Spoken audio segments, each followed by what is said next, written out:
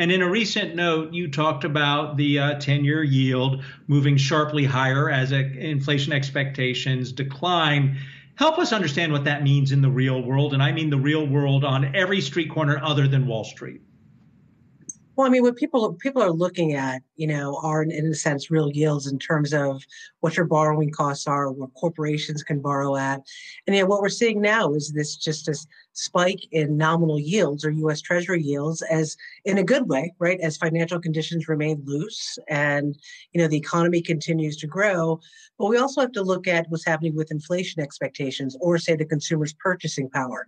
So as we've had these sort of inflation expectations rise, you know it is impacting what we call real yields. And one of the things that we look at in particular, and one of the things that we believe the Fed looks at, are things like the 30-year mortgage rate you know, having the consumer and the not restricting the consumer is key. And when we look at what's happening to the 30 year mortgage rate that has gone up the highest in the past three months, that's something that we believe that not only Wall Street looks at, but obviously the consumer looks at.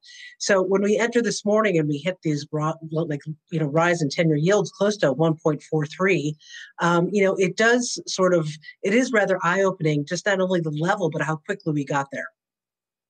Well, Leslie, going off of that, you mentioned how quickly we we got to the levels that we're currently seeing today. How worried then are you about a potential rate shock, or do you think some of the risk that we're that we've been talking about over the last few weeks is slightly overblown?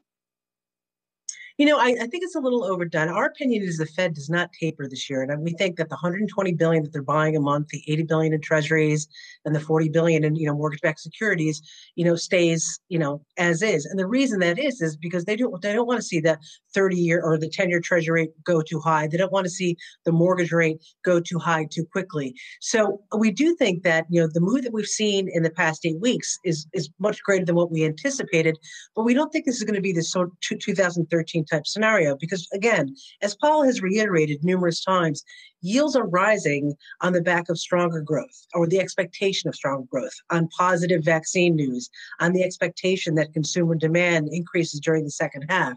So financial conditions what we refer to remain relatively loose. So our expectation is not to have this large rise in interest rates much further from here, but you really need to see, you know, not just look at the projections now, you need to look at the data. And the data, you know, won't really be clear until the second half. But the the yields that we're seeing are still minuscule compared to what most of us grew up with or knew as adults. So, what's that magic number at which point the Fed goes in to say, no, we don't want it going higher, or people in equity say, you know what, I need to go into fixed income? We're nowhere near that number. We aren't, and you're absolutely right. And you know, it's it's really difficult to say, you know, a magic number. You know, people have thrown around. If you want to look at things like the equity premium, maybe it's a two percent nominal ten-year Treasury yield, but it really, again, depends on financial conditions. If the credit markets are doing well, if the dollar doesn't appreciate quickly, if people still have access to capital and financial conditions remain loose, then then it's a healthy rise in interest rates. You know, if we go to the point where interest rates are rising and the equity market is doing poorly, we see this widening in credit spreads, that's when the Fed might take a step back and say, okay, this could be a bit concerning. And maybe they do something such as a WAM extension or something to really mitigate that rise in rates.